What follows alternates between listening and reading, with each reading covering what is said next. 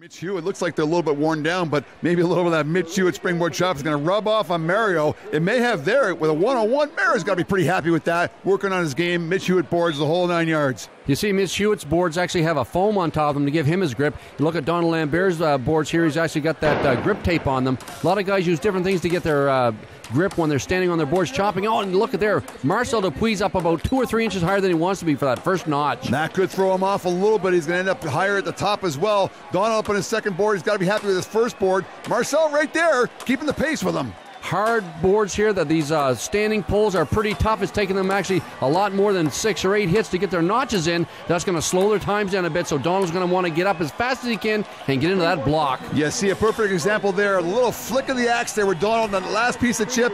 He's happy with that second board. Nice little, uh, nice level board there. Donald into the wood. Marcel still struggling with that second notch. Uncharacteristic of Marcel this year, he's been doing really good springboard chops. He's actually even cleaning out those smaller chips with his finger, so things aren't going right for him. Donald Lambert doing everything right. He's into the small wood already and picking up his pace. Getting a lot of power behind his swings. He's going to try and take down Mario Bork with the one on one. Going to be really close. Donald chips out in the back. Couple of drivers putting in Don Lambert gets a 103, but it's going to be Mario Bork who wins a springboard chop.